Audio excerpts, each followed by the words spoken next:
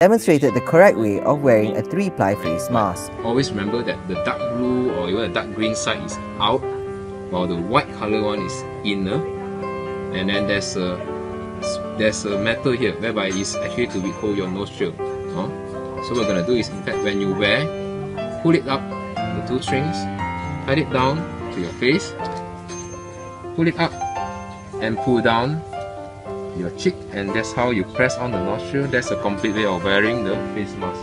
That could be your comfortable ways. Uh. This is the right way of wearing a three-ply face mask. Alright. Uh, certainly there are a few populations what they do is in fact they wear in this way. That's actually an incorrect way too.